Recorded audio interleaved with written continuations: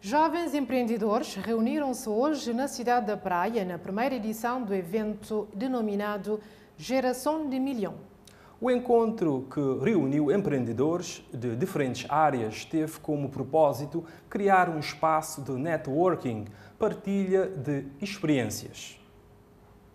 A primeira edição do evento Geração de Milhão visa informar os jovens com temas relacionados ao empreendedorismo, dar a conhecer os programas do governo para impulsionar o empreendedorismo, criar um espaço de partilha de conhecimentos e incentivar o consumo e valorização de produtos nacionais. Nesse evento, eu quero trazer, trazer empreendedores para ter um espaço de informação e também pôs num lugar onde que se pode ter uma resposta de quem é que pode dar resposta a dúvidas ou perguntas que estão.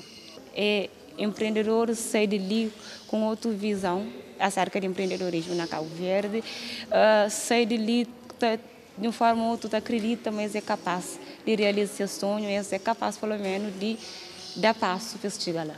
Empreendedorismo em Cabo Verde o mercado digital, mercado nacional e empreendedores estrangeiros e economia azul e empreendedorismo sustentável foram os temas abordados nos quatro painéis do evento. Felipe Lopes é um jovem que tem empresas no estrangeiro e em Cabo Verde e participou no painel dedicado aos empreendedores estrangeiros e falou um pouco dos principais desafios. Empreendedores uh, estrangeiros, uh, no momento de Cabo Verde, o desafio é completo, é na os setores.